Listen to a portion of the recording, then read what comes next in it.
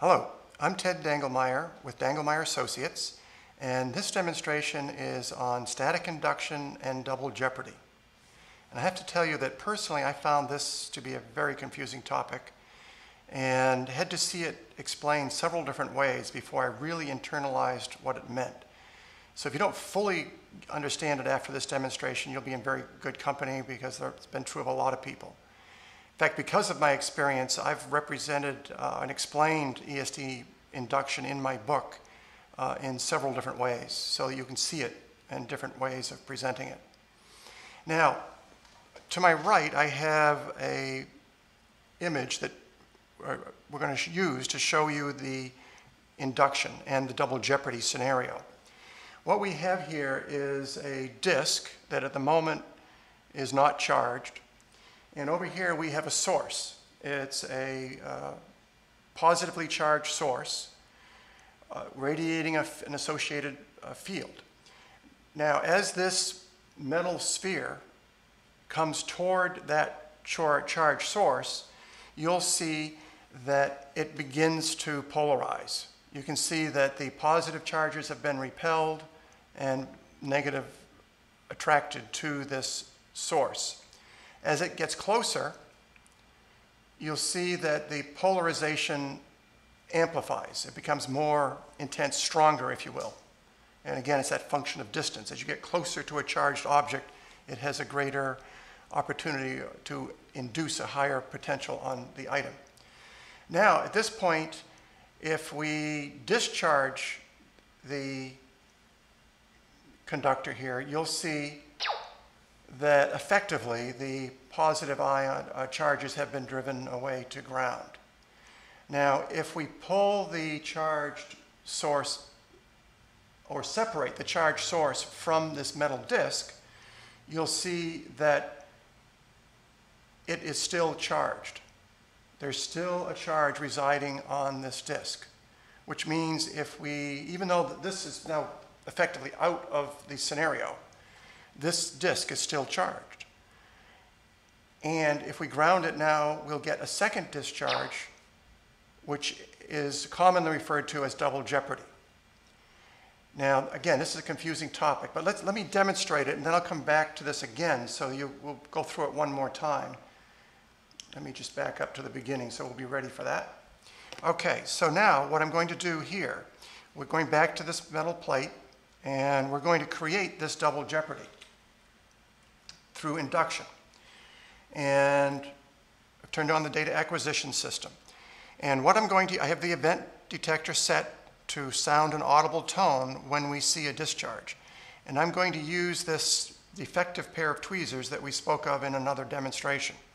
So I'm going to charge the insulator and place it on the surface. Now you can see on the scale here that what we have is, in fact, it's in this case, it's about 300 volts, not a huge uh, source. But what I'm going to do now is discharge it with this pair of tweezers. But note, uh, up until this point, we have not heard a discharge. We discharged it. And now it appears, based on the data, that that disk is not charged. It gives you the illusion that it's no longer charged. Well, now watch what happens when, what do you, in fact, what do you think is going to happen when I remove this insulator? Well, it goes back to being charged at the opposite polarity and nearly equal and opposite. But we still didn't hear a discharge when that potential rose. Now what I'm going to do is discharge it again. And now you see that there was a second discharge. So with the same charging mechanism, we got two discharges. That's known as double jeopardy. Let's go back to the slide again. Uh, bear with me.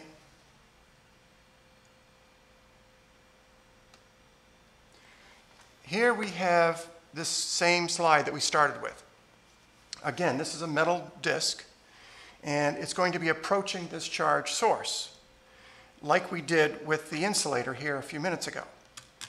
So here we go. We bring the, the two of them together, And as they approach, you start to see the polarization. As they get closer, the charging or the induction gets stronger.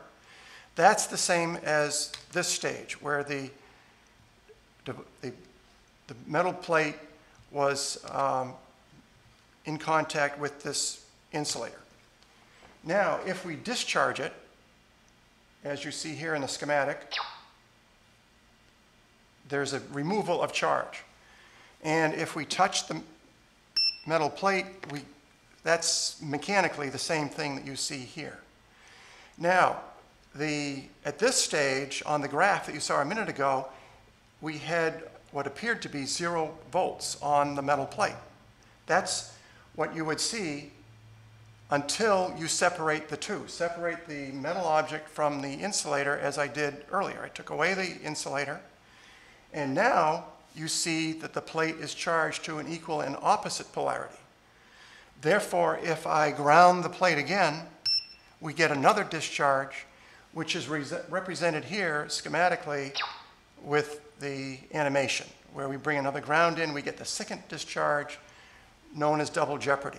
Now, what is this all about? Well, it's a confusing topic, and we see double jeopardy happening within the factory in a variety of ways. We've seen it in, as an example, automated test handlers, where there are plastic elements within the, the handler, devices coming through, getting charged once, discharged, and then discharged again. So it's a real phenomenon that does occur and again gives you twice two stresses for the same uh, source of charging. Very important scenario to fully understand so that you can implement it effectively in the factory. And this concludes the demonstration. And again, I thank you for your time.